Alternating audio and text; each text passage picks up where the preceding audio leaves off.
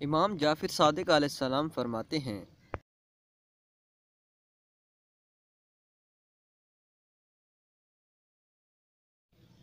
जिस घर में गाना बाजा होता है, वो ना कहानी मुसीबतों से महफूज नहीं रहता।